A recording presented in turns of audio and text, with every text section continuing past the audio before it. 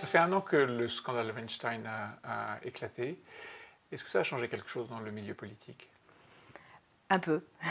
je vais vous parler peut-être en tant que femme, mais c'est vrai que euh, voilà, euh, on a le sentiment quand même que euh, les uns les autres prennent un peu plus de précautions, peut-être dans les discussions ou les approches. Mais moi personnellement, je n'ai jamais été victime d'une quelconque, j'ai beaucoup de chance. Ou de harcèlement ou, ni de quoi que ce soit, donc je ne suis pas la bonne personne pour en parler. Et donc ça a changé dans les comportements, vous le sentez? Mais dans toute la mmh. société, je pense, euh, les gens je sont parle du milieu politique, un milieu qui était quand même très machiste et, euh, assez marqué par ça. Est-ce que ça a changé?